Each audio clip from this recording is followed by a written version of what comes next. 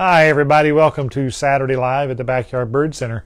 Today's topic uh, is about feeding mealworms. Get a lot of questions about that, and you know why we feed mealworms, what what how to feed mealworms, live versus dry. There's a lot of questions about mealworms, so thought it would be a good topic today. And the whole time I'm talking, behind me is my backyard. This is a video I shot a couple of years ago of my bluebird box and uh, the mealworm feeder and it has live mealworms in it and the females on it right now. So you'll see that going the whole time.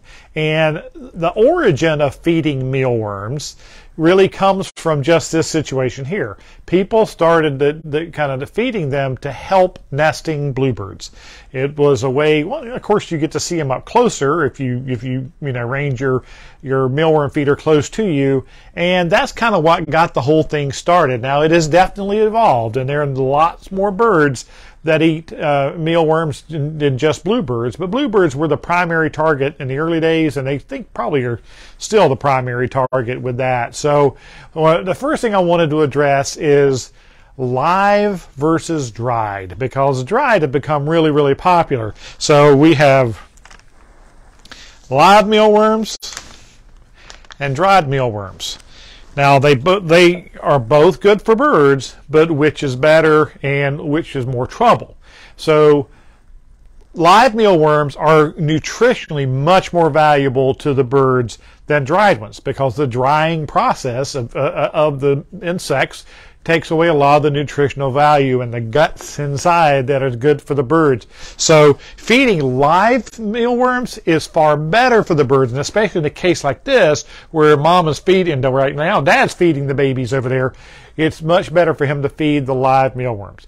But live mealworms are a little more of a, a, a challenge and a task, and they're more expensive uh, cost up front.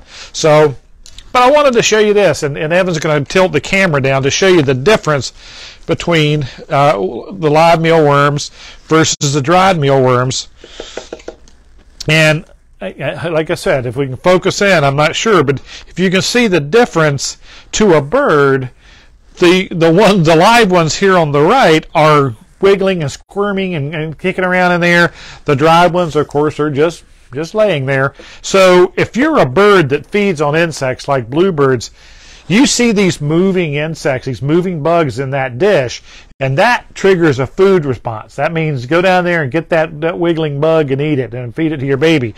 A bowl of dried mealworms just doesn't trigger that. A bowl of dried mealworms doesn't mean food necessarily. They have to be, you have to train them. And we're going to talk more about that later. But first, we're going to talk about the live mealworms. Now, the, the thing that we need to be aware of if you are going to do live mealworms is that these are not like fishing live red wiggler worms that you're used to putting on a hook and throwing out for them that, that wiggle around and don't have legs. Dried live mealworms actually do have legs. And what will happen is they will crawl out of a container that is either you know made of wood or real rough surfaces. They can crawl out of there, and sometimes you'll lose them all before the bluebirds can find them, or the, the, the wrens and chickadees and other birds that you're feeding can find them. So they need to be in a very slick container. Like this is made of metal, it's painted, so it's very very slick, so that the mealworms can't crawl out the side. But also glass bowls, Pyrex dishes, you know, slick plastics. Any we have lots of meal mealworm feeders that are made of different materials that are slick so they can't crawl out of there. And so that will keep them from, from getting away from you. Now, the other part, of course, is that they are live animals. And these will pupate, if you will. These will change into little black beetles that they're allowed to grow and age and eat and, and, and, and like their normal lifestyle. They'll pupate and become a black beetle. How do we keep that from happening? Is we keep the containers in the refrigerator.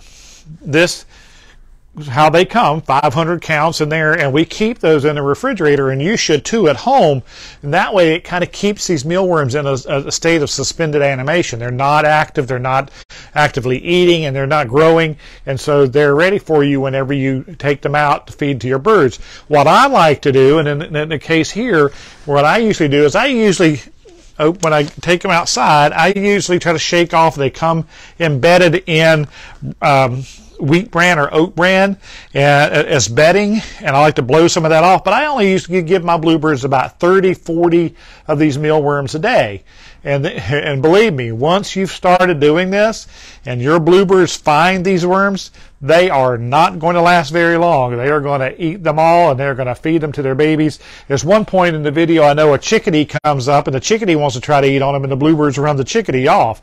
And because they, other birds will eat them too. Like I say, Carolina wrens, house wrens, even bigger birds like robins and catbirds and Baltimore Orioles this year have been really on the, the mealworms. Uh, Dennis is, in particular has been feeding a lot of mealworms to his uh, baby Orioles that have been coming around the last week or two. So, but they are alive and they will die if we don't take care of them. And what do you have to do? Well, in my case, I don't have to do much very often because they go through them so fast. They'll eat them before I have to do anything. But if you're stingy with them and you only want to feed 10 or 12 a day and you want to try to make them last for a long time, then you can keep these in the refrigerator up to about two weeks.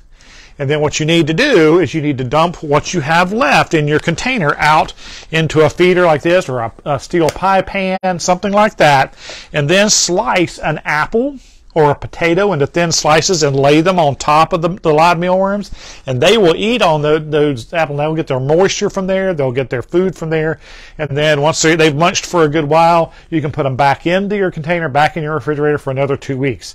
Like I said, just depends on how many you're feeding uh, and how you know stingy you are about putting them out. Most of the time, you're going through them in two weeks. You know that, and that's you know, you don't have to worry about the apple thing, but that you need to be aware that that's something you should do if you're going to keep them longer than that.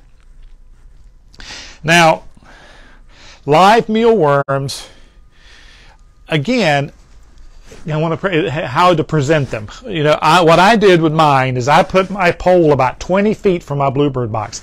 I don't like having my mealworm feeder too close to my box because that attracts those other birds.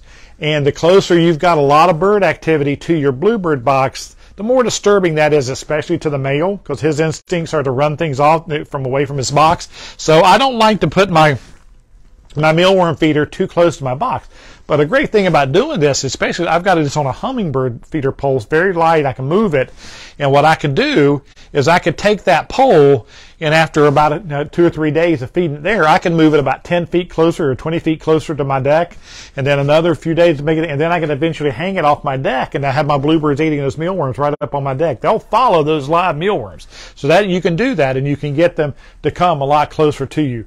So Live mealworms, great for the babies, great to feed during the nesting season. Yes, they're a little more expensive. So what about the dried mealworms? Okay, the dried mealworms.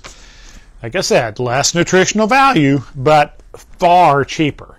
I mean, this big bag of these is about the same cost as this little uh, container of the live ones. So how do you get the birds to eat these? We showed you in the beginning, these Dried mealworms are not don't look very appetizing to the to a bird. They don't know what they are. Well, one of the oldest tricks in the book is to take some olive oil or some cooking oil and put a dribble or two uh, in there and stir them up and so they get a good glisten to them they're, they're, they look shiny and whenever the clouds are moving and the sun's filtering through and they hit the the, uh, the oil on these mealworms then it looks like they're moving. It does give an illusion that they are moving. So that is a trick that you can try to get them to to eat the, the dried mealworms. What most people do though is they, especially with bluebirds, is they start with the live ones. Get those bluebirds used to coming to those live ones, then start adding in dried ones. So if, like maybe you know, a third of them or, or, a quarter of them be dried and the rest of them be live, and then slowly switch those uh, mealworms over and train those bluebirds to eat those dried mealworms. Now Dried mealworms require more water for the birds to be able to digest them. So make sure you have a source of water for them. Because we always talk about how important water is, but you need to have bird baths and things so the birds have, um, especially the adults and the young birds, to have a place to go and drink some water whenever they're eating the dried mealworms. For the most part, dried mealworms are used. I use them in, mainly in the fall and winter months and I mix them in with my boardwalk blend and my open tray feeder. And when my bluebirds are coming into my medium sunflower chips, which is their favorite food at my house, especially in the winter, I have a tray on my my tube feeder, and they I, I sprinkle extra uh, medium chips in that tray, and I mix in the blue, the meal dried mealworms in there, and they find those too. So I find that I'm, the dried mealworms to me are more of my winter thing that I do, my fall and winter mixed in with my bird seed, whereas the live ones are whenever it's the nesting season and they're feeding babies. That I find that to be a, a successful, uh, you know, setup for me, and hopefully it'll work for you too. So. It's a great idea for a program. Thanks so much. Uh, if you have ideas for future programs, please send them in. If you're on YouTube, please give them a like, give them a share. He's pointing to me because he knows that I didn't talk about the keeping the big birds out of the feeders. Yes, big birds, you can have robins take over or orioles take over your feeder. There are ways to keep the bigger birds out of your mealworms, and this is one of them. You can see at the end there's a hole there like a bluebird box, but in here there's plexiglass, and you can put the mealworms inside the feeder, and you kind of have to train those birds. That, You know, chickadees and uh, Carolina wrens seem to figure it out pretty quickly. Bluebirds are a little slower on the uptake. So, but um, the training them to go in there so that the starlings and the robins and and the bigger birds can't get in there and get to them. So there are ways to keep bigger birds out, especially out of your live mealworms, because we know they're more expensive. So that's why that was sitting there, and my producer reminded me. So I think that was a good call. All right. So again, on YouTube. Please subscribe, ring the bell so you can get notifications. Please give the, the uh, videos a like, give them a share. Come by and let's help birds.